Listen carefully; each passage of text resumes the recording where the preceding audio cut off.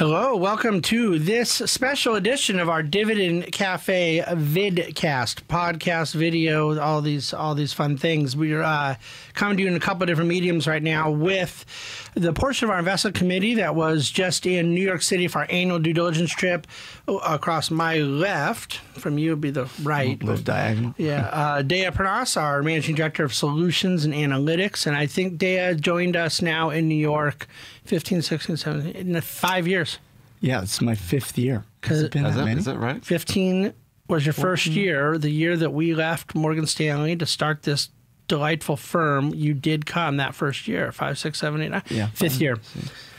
And then, uh, Time flies. Time and flies. And then across from fun. me, to Deiya's left and my right is Brian Szytel, who this is the third year you've joined, but not all in a row. We've kind of had Yeah, last was- year, this year, and then another year previously. thir- 13 or 14? Was it? It would have been 14. 14. Yeah. That's right. Yeah.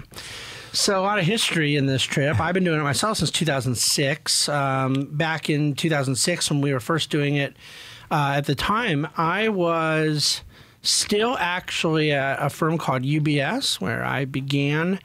Uh, the first uh, six years of my uh, wealth management career, and that was the last year that I was at UBS. I left for Morgan Stanley in the middle of 2007 and then I've done it every year since. Uh, uh, if you guys recall, um, about a, a little over a year ago, we did a whole series of podcasts about the 10 year anniversary of the financial crisis. And a good portion of the events uh, from the financial crisis in 2008 took place on this annual trip back in late September, early October of, of that uh, fateful year, 2008. But, anyways, over the years, it's been a really productive trip, and, and we've obviously um, made some really key decisions over the years about how we allocate capital for clients as a as a result of this trip. Certain um, seeds were planted uh, early on in these trips, including with our emerging markets partners many many moons ago. That, Um, that's when you started your weekly writing, I believe. Was yeah, the, the weekly writing the weekly The writing started in September of 2008. Um, but actually, even a couple weeks earlier than that New York trip, like right in the midst of the week that Lehman Brothers went down, and there was all these things going on uh, every day, and it was like what firm's going to drop next and everything. And I just did kind of a group email because I couldn't like call hundred people at once. Yeah. I just did an email to 100 people at once about whether or not Morgan Stanley was going out of business. Yeah. and, and and so then you're like saying all this and, and just trying to deal with it, but it got it was really effective. And then I just started adding like, oh, by the way, I noticed this in the labor report. Yeah. And earnings are kind of this, and then it would just sort of grew and grew, and yeah, that's where Dividend Cafe was born. Yep. Amazing. But out of, out of this trip annually, I think that it is a chance, particularly as the trip has matured and sort of um, clustered into something that is very uh, intentional on our part. In the past, there could be organic things that came of it, like sort of almost inspirations, like, gosh, I really need to pay more attention to floating rate Yeah. bank loans, or we're underestimating certain risks or things. And we found different hedge funds over the years, we found different relationships. I, I think the vast majority of the fruit that's come from the, the tree of this trip has been really, really great for our clients. But the truth is that, um, right now it's really important i think it become kind of annual tradition for us to rethink what we're doing evaluate decisions we need to make in terms of our asset allocation decisions for clients and specific you know investment uh, security selection manager weightings all, all, all kinds of different knobs we may turn. Because it happens at the beginning of the fourth quarter into that fall season it gives us time to really kind of figure how we want to apply it, and then going into a new year, potentially make different changes. So I guess I'm going to start with you guys telling me, um, again, it's unscripted. I have my notes from the trip open, but there's no questions here or anything. We're just going to go off the cuff and let our listeners uh, kind of hear us converse. What did you most take away from the trip this year, Brian? You know, I, I think um, in the fixed income markets, um, I think there was a common theme in commercial mortgage backed securities, so CMBS. Uh, most, I don't, three or four or five different managers kind of cited that that, sort, that asset class was something that they found attractive from a risk reward perspective. Um, I think most managers were sort of just expecting lower overall returns going forward. So just sort of muted, um, both in stocks and, and in bonds. Um, so I think those those were some themes. Um, I think generally um, the real estate market was looked upon as being um, you know, some, somewhat stable. Um, so I would say those three things: kind of lower overall returns going forward, but still positive. Mm. Uh, pockets in the mortgage-backed security market that were attractive, uh, meaning you're just going to clip coupons and not have a lot of volatility. And then, sort of underlying fundamentals of real estate seemed fairly attractive as well. Um, let, let, let, me it, piggyback on something you said before I switch over to Deiya. Um, that comment you made about lower expected returns it is it's an, interesting to me that it always does seem that the expectations one has are either this asset class is going to do well or this asset class is not going to do well. Either things are going to be good or things are going to be bad. And we're I talk that way. I think we all do. I, sure. uh, hopefully, we do it less than than others. But that is a sort of um, ingrained binary thought process. And yet, sometimes things the bad outcome may just be kind of tepid returns. Yeah. It's like something doesn't have to drop 20%. It could just, instead of being up nine, you're only going to clip five from it. And that's a disappointing outcome. But I think that there's a lot of that right now in risk assets, yield so low, growth expectations low, inflation expectations low. Yeah, particularly in the bond market. You know, oh, I, mean, yeah. I, I mean, you know, 10 year yields at 175 and we, we were sort of talking about whether two and a half was on the horizon before maybe one and a half would be. And I think consensus was more on the downside to, to rates. So that's just a low rate environment and it's a low return environment. There's not a whole lot of return there. I think I bold faced in some notes I took in our meetings with Voya Asset Management, which is our taxable fixed income manager, oh, along the lines of what you just said outlook for anchored fixed income returns doesn't just speak to lower bond market expectations, it speaks to all asset classes. So I think you're right that there was sort of a context about bond returns obviously can't be as good as they've been based on the low yield environment. However, really, the bond market has to be thought of as an asset class and a proxy for asset classes sure. in the sense that it defines the risk free rate. Mm-hmm. And you therefore would expect at least traditional asset classes to have some total return effect going forward. Yeah, I think so. And and as far as that risk free rate, I mean, if you think about, we talked about um, where that is now. It's lower than it was, you know, a year ago. Uh, the multiple in the market is actually the same or a little lower, and mm-hmm. interest rates are going down. So that paints a pretty um, supportive backdrop for equities too. You know. What do you think? The equities look more attractive than bonds, relatively speaking, and absolute? Do, would you say yes to both? Yeah, I think uh, as, as far as the trip goes, there's a few takeaways, and I, I echo a lot of stuff that uh, Brian was saying. As far as uh, our job as asset allocators, as multi asset allocators, is to look at how these things are going to fare on an absolute basis, but also a relative basis. And uh, David and Brian have talked about the cost of money, which is set with interest rates and the yield curve. And the reason why those things are so important is because they uh, they're an indication for inflation, growth, the pricing of different assets. So what happens in the bond market really does affect or give you an indication of uh, how other asset classes are going to perform. So as far as the bond market goes, yeah, the yields are yields are very very low, and it's funny the uh, when we talked with our bond managers and a lot of the other managers uh, late late last year one of the primary risks was was that rates were going to increase, yeah. increase, not not decrease.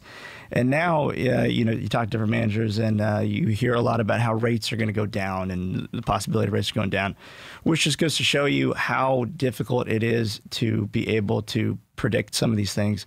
And I, I can't think of any other uh, market barometer that has made people look more foolish than trying to predict rates.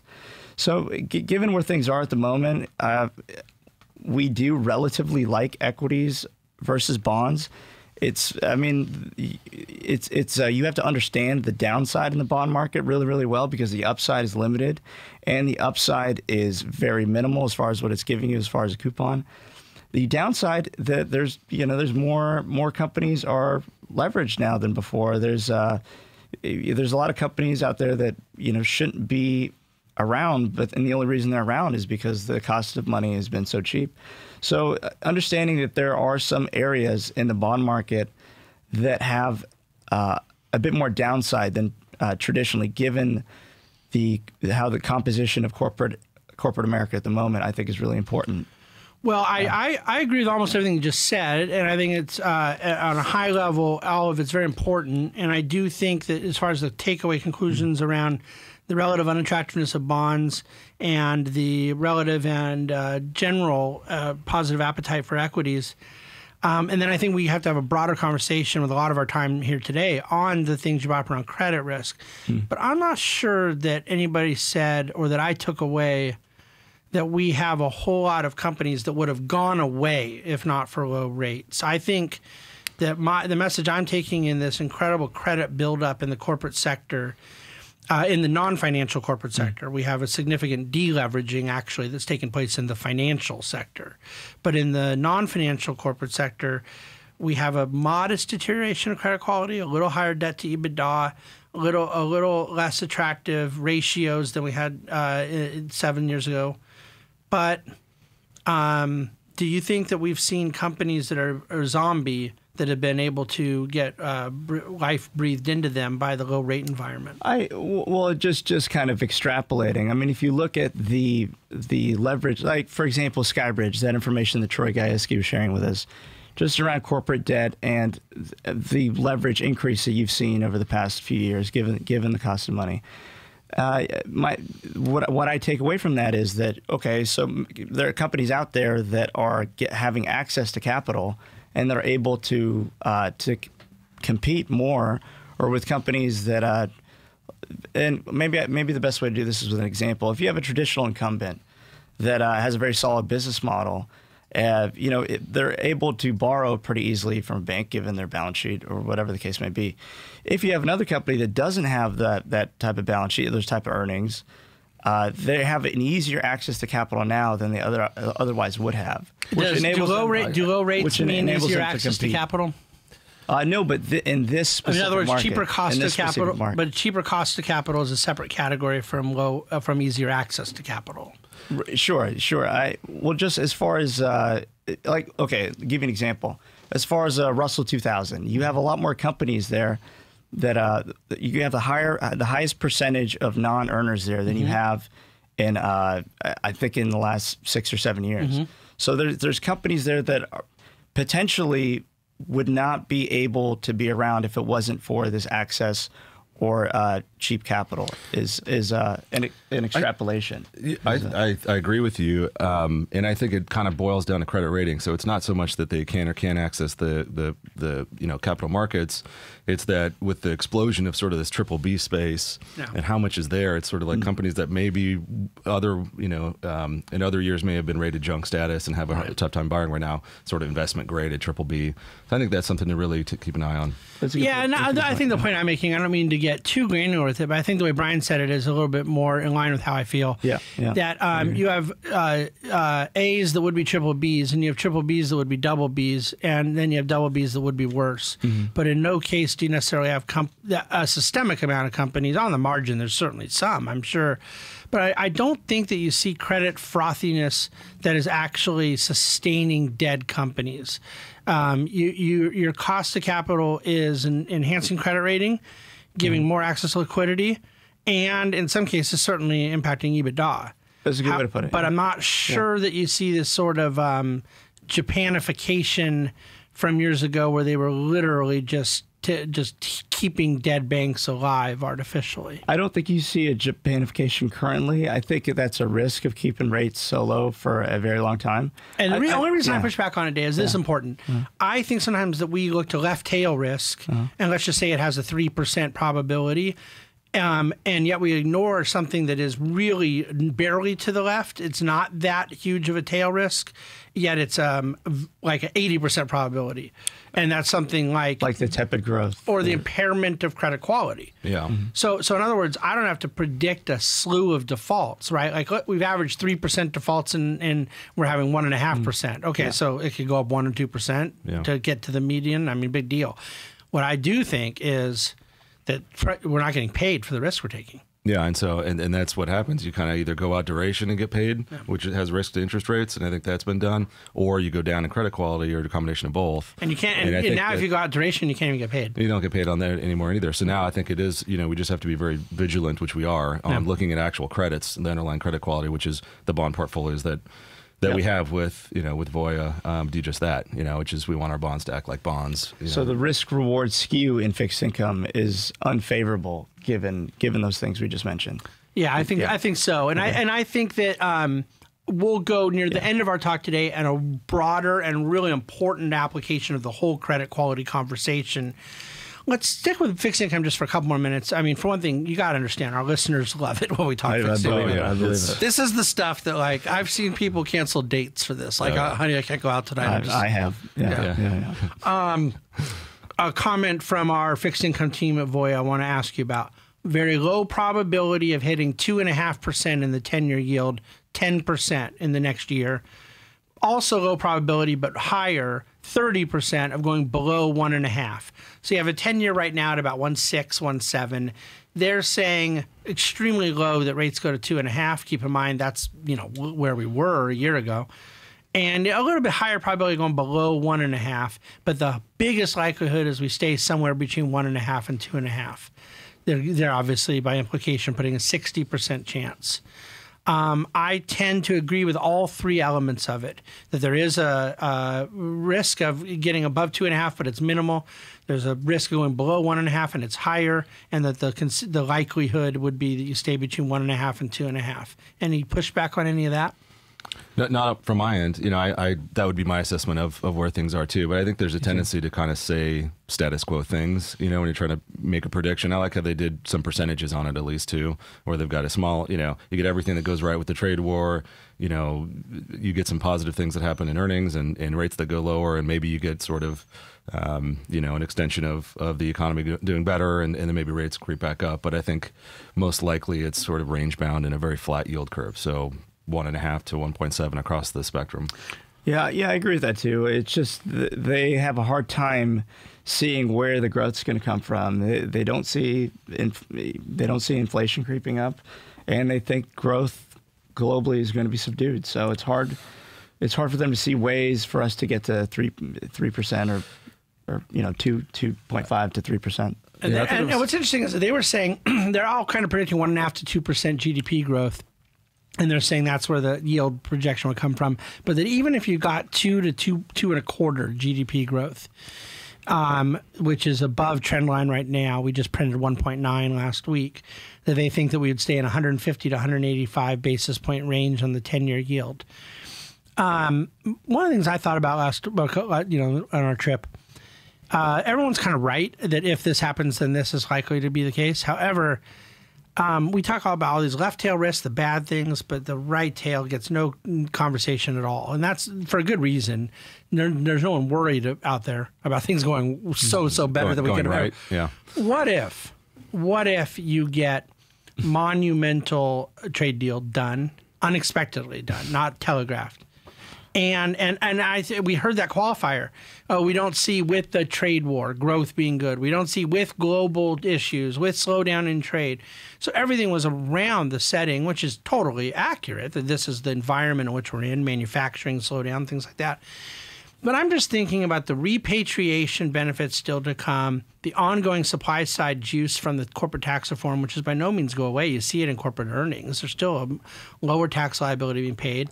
If you get that resurgence in capex that we spent most of this year talking about, that we think the trade war compromised, could you get three percent growth? Three percent growth or three percent rates or both. Three percent growth leading Yeah. to two and a half percent rates. Yeah. I mean, I think that you, you certainly can. I, I just think, as far as rates go, you know, you still have sort of a global paradigm of, of low rates. It was interesting during our conversations with, with them about what negative rates have done actually uh, in in Europe, and I thought it was fascinating. I didn't I didn't realize this, but it actually spurred an increase in savings. I, I would have assumed the opposite, which is, you know, that if you're going to have to pay someone to put your money somewhere, that you would not want to do that. And in fact, it was sort of the opposite. It was uh, encouraging people to save more because they felt like they needed more money to kind of support themselves over time. So I think there's just, you know, to your point, could we get a 3% growth rate? I think we absolutely can, but I still think this global paradigm is something that is going to anchor rates in, on the lower end. And I think that was a kind of a common theme.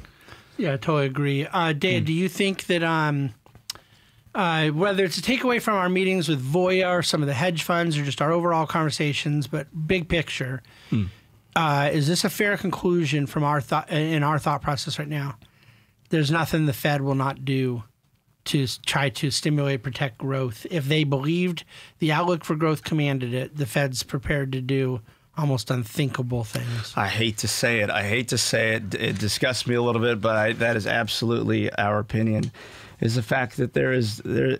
I mean, uh, for whatever reason, the, there is a, the the thinking is out there that the economy isn't able to experience any pain, and the Fed has to step in there and and pull out all the stops. So we won't get you know some sort of drawdown or some sort of economic downturn, and let the economy fix things and using the mechanisms of prices that uh, that are kind of built into a market economy. So yeah, I, I, I hate to say it, but uh, that that is the state of affairs at the moment. And, I, and what's worse is I see it getting only worse. I don't see that uh, changing anytime soon. Uh, if you look at uh, the political climate, so Would the Fed go to negative rates, Brian? Um, I don't. Well, I, I sure hope not. I, I would say I would say most likely no. I, I don't think so. I think there's still um, a pretty diverse economy here. I, I still So think there's not growth. will they, but would they? And so this is so you're doing the same thing a lot of the managers did, which I understand. They kept saying the Fed the Fed won't go negative because they don't need to. Yeah. And and I want to hear someone say the Fed won't go negative because it's the wrong thing to do in any circumstance under God's green earth. Yeah, I, I would. Uh, that's the way I think about it. I, I don't think it's uh, it's an American policy. I don't know how else to say it. I just I, it, it would be hard for me to imagine them going negative on interest rates, especially when we have great examples of what happens with Japan and Europe. It's not like it's helping or anything like that. In fact, it's spurring savings, not not consumption. That that's the opposite of what they intended.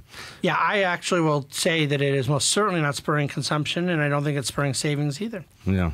I think it is it is uh, it is essentially just eating away at wealth. I think it's eroding capital.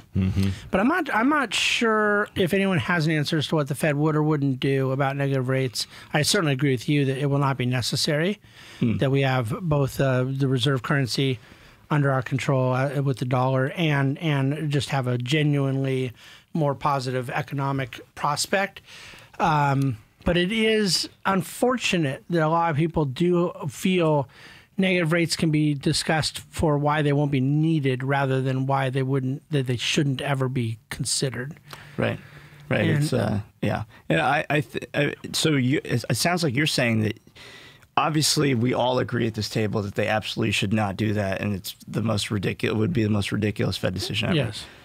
But you think it's possible that our Fed or the way things are headed, that if we do get in some, you know, 2008 scenario again, where you know it's just a, it's just the next step in that in super Keynesianism is you know you, got to stimulate at all costs, and if they have to go negative or they have to buy equities. Well, or, Right, I Exactly. mean, uh, yeah. I mean, I think it would be more asset purchases, but you know, I, I shouldn't say asset never. I mean, you can never say never. They, they, could they go negative? They, they, they, I'm sure they could. I, I just don't see that scenario playing out, and I don't think they would. I think they'd, I think they'd buy assets across the board more. So, and I, hope that, I hope that doesn't happen either. But they could buy real estate. They could buy equities. Well, they, could- can't legally. Yeah. They they'd need an act of Congress to do that. Yeah. But I think that's what they would go for. I think they would try to get that done. some some way to yeah, Yeah. exactly okay So we talked about CMBS being a more attractive space. You have bond managers, you have credit managers looking to get some positive return. Interest rates anchored very low. Not a lot of opportunity in duration oriented products. So you look into credit and spread product to get a return. High yield right now, the spreads are in the 380 to 400 range. Not a lot of return for the risk you're taking and the deterioration of credit quality we talked about. Floating rate bank loans just heavily dependent on flows um, to almost Ponzi like level of where the asset class does well when it gets a bunch of new money in it and it doesn't do well when it doesn't. And that sort of self fulfilling prophecy aspect of any uh, asset class bothers me. Um, and so bank loans seem to be a lot of favor, high yield. They're worried about risk reward. Uh, but as you pointed out, RMBS and particularly CMBS, residential mortgage-backed securities, commercial mortgage-backed securities. Uh, we brought up the idea of well, there's a lot of CMBS into retail. You see a lot of closures. They pointed out there were 10,000 store closures that they project for 2019. 8,500 have already happened. It was Payless Shoe Source, by the way, that was the largest volume of closures. I don't know how many stores they had. Yeah. Uh, but overall, Uh, their argument is that for higher quality CMBS of certain vintages, this is an argument not only from bond managers but several hedge funds we talked to as well, that um, you you simply just have a good positive carry, a really attractive spread, and you have a money good coupon. Uh, combined with an underlying asset that is not likely to see a lot of defaults. Um, Any pushback on it? And is, and is this any different than we've heard the last couple of years? Well, I thought it was interesting. Yeah. I- So to your question, I did. We did hear that last year, actually, um, and so that trade, I guess, is continuing on. I think it's uh, more expensive now than it was then, so it's worked out. But they still see value in it, and I thought it was interesting on the retail side with all the closures. I know it was Toys R Us yet last year, and then this year it's you know Payless shoes, shoes, and you know a lot of, lot of store closures. But they were talking about sort of these grocery store anchored strip malls being really good um, ways to to clip coupons with CMBS um, with you know heavy traffic with people going to the grocery store still not being able to really buy food online, and so you have all the other tenants in those shopping centers, whether it's like a fitness place or you know salon of some kind, uh, being just great tenants, and they just love that, cr- that that credit right there, which which I thought was interesting. Yeah, yeah, I agree. I, I think, uh, and may, and potentially the reason why that trade is still profitable is because of some of those high-profile defaults that may not necessarily affect those higher quality assets. So I On the retail front. on the retail front. But you got to look across the whole spectrum. You have multifamily, you have office. CMBS has kind of got a decent penetration into all aspects of asset class commercial real estate. Yeah, I just think uh, when you're looking at the numbers, the def, you know defaults aren't there. Def, rate default rates are extremely low. I do agree that it this has been a consistent story for quite some time, and most of our managers in general have maintained positioning. You haven't seen a lot of about faces from now versus this time last year. So. In, in general, yeah, this is a trade that's worked out, and it's the story's been pretty consistent. Pretty um, important principle for us to wrap our arms around. I think we get it more intellectually than I would expect retail investors to, but it's taken a lot of time to to uh, uh, you know fully adapt this thinking. But the fact that it is not inconsistent to be somewhat bearish, um, or or at least at best neutral on the equity of an asset class, and yet be positive and in some cases overwhelmingly positive on the debt of the same asset class. It seems counterintuitive, and yet that's I think the argument that a lot are making is we have a bearish or unattractive feeling on the risk reward of the equity of some asset classes, and yet we think that the debt, the senior credit positioning, the coupon, the carry, all very attractive. Um, that's overwhelmingly what we're hearing in commercial mortgage back. Yeah, and I think some of it has to do with like like to your point earlier, was they sort of had the graphs of you know total consumer debt, total uh, mortgage to to income debt, um, and how those things have really gotten healthier and gone down, whereas you know corporate debt has gone up a whole lot. Um, you know that speaks to just a stronger borrower. Um, you know, and and I think that's what it is. You if you looked at the real estate sector, like REITs, they're expensive. I I think most of the managers would say that they're they're trading at you know twenty times earnings. That's probably historically on the high end. But they're just saying there's enough equity buffer and enough strength of the underlying borrower that even if there's a downturn in real estate, that they still feel comfortable clipping the coupons on the debt. Um, let's let's talk some big picture things. I want to share with our our, our uh, listeners and get you guys to comment in. 1969, the Dow Jones. So we're now talking about 50 years ago. Um, but in 1969, the Dow was, I want to get this number exactly right here, 1,000. And as you know, we're at 27,500, all time high here this morning as we're talking. So uh, over 25 times on your money over the last 50 years. That would mean that we would be at 650 and probably actually now uh, about 700,000 on the Dow in the last 50. Um, so the first response one could have is, yeah, but multiples were were you know are now a lot higher. well, in 1969, the Dow is trading at about 16, 16 and a half times earnings. We're right now 16 and a half, 17 times earnings. So we're actually about the same multiple. And in fact, most of the last 50 years, the multiple's been lower than it is now. So it got a 50 uh, uh, 25 times movement over the last 50 years with a long period of lower multiples, not higher. yeah. Um, there were 4 million babies a year being born in the 1950s. Uh, now there are still 4 million babies being born a year, uh, except for that's off of a much higher population base. So the fertility rate is way lower. That will have an economic impact in the next 50 years. However, that's sort so that's sort of one argument for it being a little different. But then the technology and productivity are clearly much higher than they were in the last 50. So I'm going to just ask you guys point blank, and I swear to God, I'm going to hold you guys accountable for this in 50 years. Um, you know what? I all three of us might be alive in 50 years. Might be. I wouldn't count on it for It's me. knocking on some wood here. Yeah. Deiya's got best chance. Mm, I don't know. I don't know. Eh, I don't know. Yeah. Dow 650,000 in 50 years. Yes or no? I'll go first. Absolutely. All I really believe it. I really believe it is the um, the smart bet to make. Deiya. Yeah, I mean, uh, all all you can do is go by the historical record and the you know the marvelous wealth creation mechanism our market economy has been, and uh, you know it, it, this is a great example, I think, to just wa- stop worrying about the multiple, just worrying about the underlying earnings, worry worry about just how how, how things are evolving as as far as capital markets are concerned and have continued to evolve over the years. And it is uh, it is a trend to the upside. So yeah i yes i, I, would, I would definitely be with you. I'm i'm i am an optimist. Well, So, uh, so uh, I'm an, an optimist as well, but I to make a market here, I'll take the other side to that. I actually think that the 25x over the last 50 years was in an environment where we talked about population growth being a lot bigger with baby boomers, so you had that sort of backdrop. Um, you know, you also had a lot less debt in the world.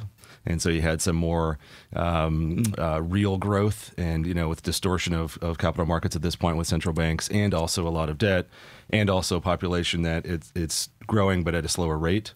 I would say that the Dow will be some big number in 50 years, but I don't know if it'll be the exact same 25x over the last 50 years. But that doesn't mean I'm not optimistic. Yeah. And Yeah. there- there's That's- there's a that's t- No, you're tug of war. optimistic. You're just you're just wrong. And here's what we're gonna. here, here, here's the thing. You're right. I'm going to be alive in 50 years now just to prove no. Yeah, no, we'll, we'll have to wait it out. Um, yeah, Brian, here's the thing. Population growth in the U.S. is lower. Is population growth in emerging markets higher or lower? Um, it is higher now, Oh, but like it, it, exponentially it, will slow over time. Okay, is well, what well, saying. compared to what it's been for the last 50 years. Yes, Um, 50 years ago, 50% of the world was in abject poverty. exactly, 10% now. exactly. So you have significantly more consumers worldwide over the next 50 years for Americans to sell product to, develop services for, create economic activity around than you have the last 50 years. You brought up the debt issue. Absolutely over indebted sovereign wealth around the world, including in our own country, mm-hmm. relative to the last 50 years. That compresses growth. It's a mm-hmm. huge argument against getting that growth. The flip side to it is you had 9% yields 30 years ago. You now have 2% yields. So you have very different borrowing conditions and different ratings given to risk assets. Brian's right to point out that there is a uh, push and pull in some of the considerations. The reason why you want to go long optimism here Definitely. is that the uh, creative genius of markets, the creative genius of entrepreneurs, of innovation, of the ability for those operating in self interest for themselves, their families, their communities to overcome those obstacles. Amen. Now, we do need greater population growth, but these things have also worked in waves. I happen to think that you could end up 50 years you're going to have a couple generations flow through so we've had we're having less kids in america now than the boomers uh, than the boomer generation but i think that that could flip itself. Um, overall there's some arguments for on the margin things being better than 25 times and there's arguments for being worse. The takeaway for most people who don't have a 50 year timeline in their investing is that perma pessimism is just a destructive and idiotic, Yeah. intellectually indefensible worldview with no hi- basis in history. Um, Brian, why don't you share the line from Lloyd Blankfein that Ron shared with us? Lloyd being the now retired CEO of Goldman Sachs. Yeah. Um, so I agree with everything you said wholeheartedly. By the way, so I'm optimist uh, to I'm my glad core- I was able to convince to, you. to, my, to my core. But if it over under on the thing was all the just, same, but just taking the other side of yeah, yeah, yeah. but um, no, no, no. Yeah, so so yeah, so we met with Ron Baron, uh, founder of, of Baron Funds, and it happens to play golf with uh, Lloyd Blankfein from Goldman Sachs, and he was saying there's too many things that can go right at this point in markets, and he, that's why he's optimistic. He just sees too many things that can go right, and I tend to agree with him. I I think uh, markets are. Um, you know, have been climbing this sort of wall of worry now for 10 years, 11 years. Um, and but at this point, I, I tend to agree. There are too many things that could go right here. We could get trade deal done. We can have interest rates stay low, go lower, earnings continue to be good, uh, growth continue to kind of kind of happen, and things go well in the markets. We've talked about this theme for about a year now. In the short term push pull, in the short term, we're afraid to be bearish or hyper bullish. You've had trade war issues, and yet you also have earnings growth, and you've had uh, an accommodative Fed, and and so there's these kind of the TINA trade arguing for U.S. assets. So you've had reasons to stay engaged in U.S. and you've had reasons to be cautious. It's argued for a neutral position short term. It's interesting to me that what we're talking about sort of suggests same thing around long term. That you have long term, there are some very secular headwinds mm. and there's some very secular tailwinds, and it argues for prudence, argues for asset allocation. But that's one that's going to be my big takeaway, by the way, from this trip. I didn't come home with any compelling reason to feel to feel that we needed to ramp up risk or ramp down risk. Mm-hmm. That we pretty much have our risk settings weighted appropriately across the different spectrum of clients we manage money for. Dad, do you feel the same? I I I completely agree. I think that and this usually isn't the case. No, it really isn't. It really is not. And uh, like David mentioned, uh, this New York trip, uh, the purpose of it that we do it, uh, you know, at the end of every year, and we, we meet with all our managers. It helps us kind of zoom out from the day to day, and kind of adjust our capital market expectations around different asset classes, both absolutely and relatively speaking. You know, even the correlations between asset classes, and we typically come back, we make adjustments at the whether it's the broad asset allocation level or or the sub asset allocation level. And this time, more than any other year, we've we've uh, decided to leave pretty much everything where it was, and because of those things that David mentioned, not a lot. Uh, there's not a lot that we kind of learned from this trip that causes us to uh, change our perspective or look at things any differently. And uh, most of our man- money managers that we spoke to, uh, like I said earlier, see things kind of same way. They're positioned in a similar way.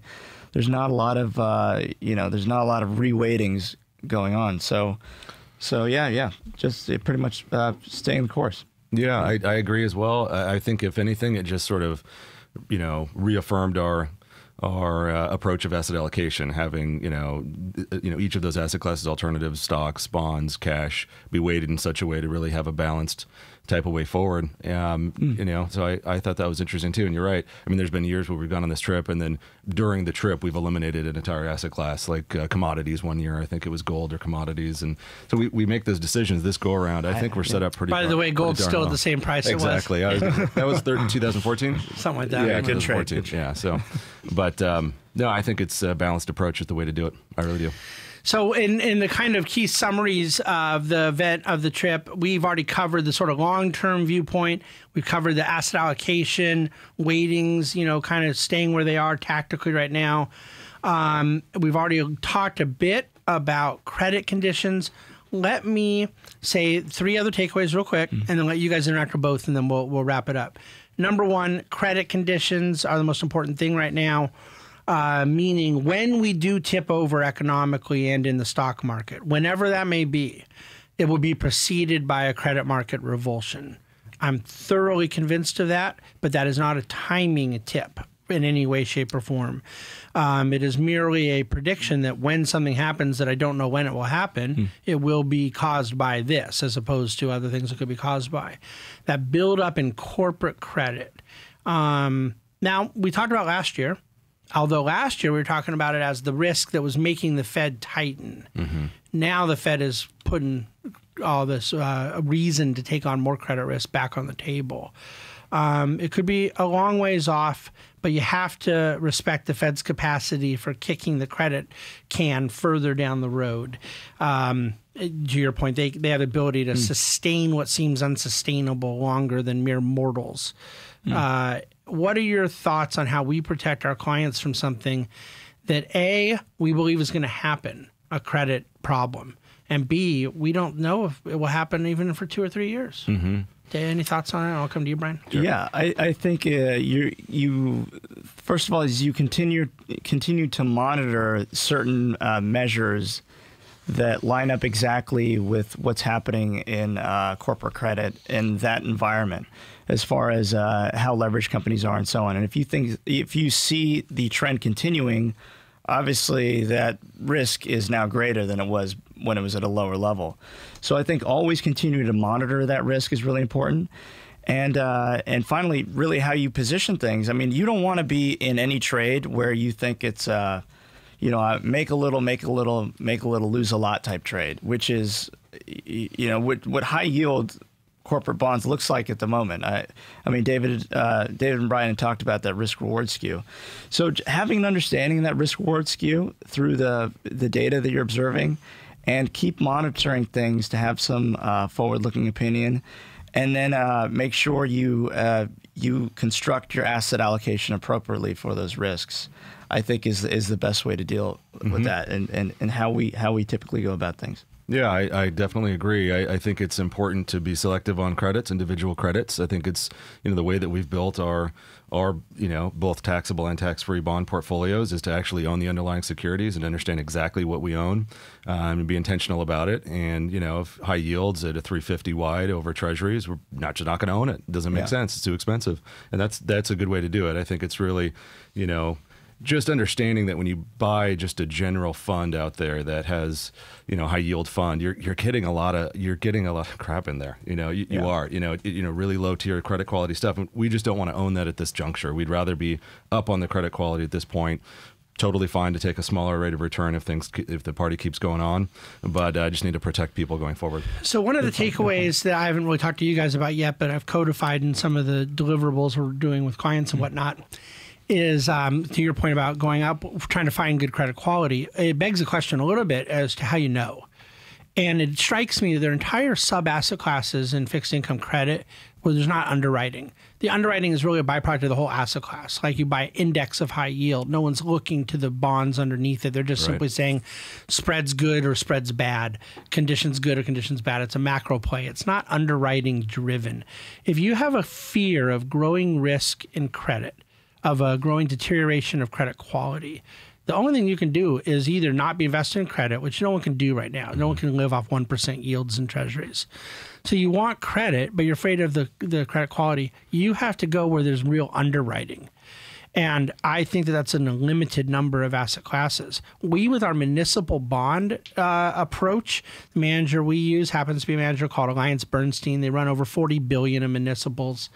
But they, one of the reasons we first selected mm. them years ago, both of you were part of the team when we did this, was their heavy emphasis on credit analysis, yeah. not merely being yield curve guys, being yield curve guys that also did under underlying credit analysis. That you can underwrite bond issuance. You can under you can actually go do underwriting analysis. Mm-hmm. Um, I think that private markets, middle market lending small capacity strategies where you're looking to the underlying quality of the loan. What got away from the RMBS market in 2007? No one was underwriting anything. They had no idea what was in the portfolio. Yeah. It was all model driven on credit ratings, sometimes insurance wrappers, not even that often, and then just tranches. What uh, uh kind of their assessment of where tranches were in the risk reward waterfall. Yeah. I think that there are credit plays that you can actually have a reasonable mm. expectation of outcome around underlying uh, credit quality. To your point, Brian, by underwriting. It's yeah. just that the strategies that many credit investors have don't involve underwriting bottom up. And I think it's something we've talked about our friends Cliffwater and and a lot of the private market credit things we're looking at right now on behalf of clients. Do you guys like that theme in both the alternative and fixed income ecosystem of what we're doing? Yeah, I, I, and I think I think that was a great way to put it, and it it's really analogous to what we do on the equity side of things. Very much. Yeah. Very very bottom up so, and whatever the portfolio looks like after you've made all your selection is how the por- portfolio is, and it's incidental to the process. And I think this is it's important to remember that when we're talking about different asset classes and we're talking about different sub asset classes, we can be very negative on a sub asset class, but uh, be very positive on an individual security within that sub asset class. So, as far as what David's mentioning, most of our managers share our bias, that bottom up bias where they're making selections. They're looking at the underlying company, they're looking at the underlying credit, and they're making a selection. They're doing bottom up fundamental work, fund, fundamental research. And that's another way to protect yourself from a from a certain asset class or uh, just a broad kind of view of a market is have a manager that has the talent to be able to select the right kind of credits or companies within that within that market. So I, th- I think that's a that's a great that's a that's a perfect way to put it. I couldn't agree more. Yeah, yeah, I like that. The when we're talking about middle market lending or direct lending or, or floating rate or bank loans and those things, that you have managers that we're working with that are they've already done the workout if it doesn't go right. So like Yeah. let's say that you know economy takes a turn for the worse and they actually have to go and collect the collateral to kind of support the loan that they've made to this company. They already have a full workup already done. It just speaks to having total skin in the game with that. You know they're they're willing to um, go through a, a painful process and they've done that and you know that analysis to be able to do that. That says a I lot. think that's where a lot of people, uh, uh, myself included, have some skepticism right now. Uh, bank loans, floating rate, all the CLO issuances. I'm not convinced that a lot of people have an understanding of what they'd do if they took on the distressed securities in the form of equity versus debt. Sure. Um, now, look, we don't want distress events to happen. But you're right. It, point, it points to risk management. This is probably more appropriate in an alternative strategy than a conventional bond strategy. But having a workout plan in place matters. Uh, but not because you're trying to be overly optim- opportunistic, like a really good distress manager. You know, the kind of thing Wilbur Ross Yeah. did real well with all those years. I think that's different. I think that you want it for defense. Yeah, yeah, yeah. Um, I hate to speed us up, but unfortunately, yeah. we got to wrap it up. I, I'll close with one final thought. Deiya kind of alluded to it. The debt underwriting philosophy I'm talking about being applicable to our equity management from our small cap to our emerging markets to our dividend growth. One thing that is uh, really apparent to anyone paying attention to how we manage money, very apparent to those of us inside the investment community, the Bahnsen Group, but that was just kind of on display, I think, throughout a lot of our meetings, is our relentless philosophy of bottom up, company driven management as opposed to stock market management. Um, I really think that it was refreshing to see both in the sizable amount of capital we manage ourselves in dividend growth equity, but also in sort of peripheral asset classes like EM and small cap. Ha- and some private equity managers and things like that. Just just how philosophically aligned our partners are in the idea of uh, companies and their operating prowess, driving profits, driving profit growth, driving opportunity. Um, it was refreshing. So, uh, a final comment from each of you, and then we'll wrap it up. Yeah. So final comment as uh, we are uh, staying the course. Not not too many changes from this uh, from this year's uh, kind of kind of man- manager meetings at the end of the year.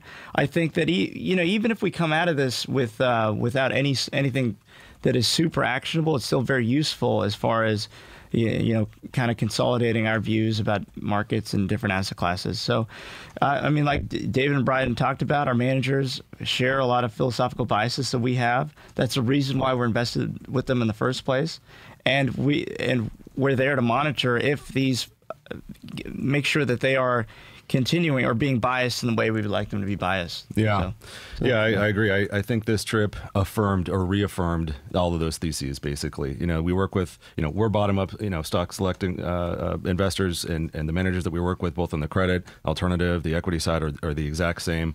And we didn't sort of bait them to get them to talk about it that way. They just organically did, and so that that was that was comforting or affirming to me. And then you're right. I, I think our current approach with with more of a balanced um, way forward, I think, is the way to go. Um, and having that sort of affirmation on the trip, I think, was really really good. I feel good about it. Well, guys, it was a wonderful trip. We spent most of our time today talking about bonds and stocks and markets and risk, and we didn't really talk about that veal at uh, Yeah. Il Tinello. Oh, we so really good. barely got into some of the the steaks. Um, we'll have to. Re- Maloney's. we should do a whole separate podcast on Maloney and Porcelli's. I love that place. Yeah, It's so good. um, and I would point out that I even lost weight on the trip, despite all those That's workouts. Nice. I did not. Wow. Yeah, I have to torture myself very early to, to do it. But uh, we'll we'll do a separate podcast on on the the steakhouses and Italian restaurants of Midtown Manhattan another time. Hey, thanks for listening to the Dividend Cafe. Uh, we hope you've gotten a lot out of this. Please reach out with any questions whatsoever. We've given you a lot here to chew on today, and we're happy to elaborate further if you want to email us privately. Um, please do forward this to your friends and colleagues. Uh, give us a review. Uh, request a book, either The Case for Dividend Growth or a pre advanced copy of my book on Elizabeth Warren. Um, if you send us a review that you do for this podcast, podcast, we'll send you a copy of the book. Thank you very much for listening to the Dividend Cafe.